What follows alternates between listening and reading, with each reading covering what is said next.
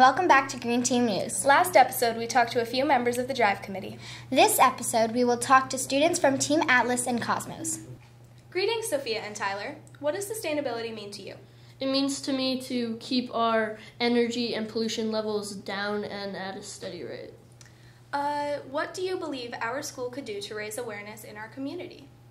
I think that having more after school announcements or doing workshops or attending rallies would be helpful. And what does your team do to support sustainability? We've done multiple projects about sustainability, including the UN SDG goals, and also had many group conversations about it. How do you think that we could decrease our carbon footprint as a school? Um, to turn off lights and electronics and shut off our computers fully when we're not using them. Um, is there anything you would like to do to live more sustainably? Start like composting more and maybe um, grow a garden. And is there anything that you do to live sustainably?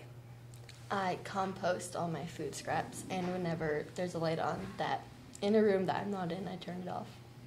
Thank you for coming. You're Thank welcome. you. We recently went to the Youth Rally for the Planet where we interviewed various students and people and documented our experience. Next episode, we will have interviews with people from the Youth Rally. We would like to thank Orca Media for lending us their equipment and studio. We hope you tune in next time.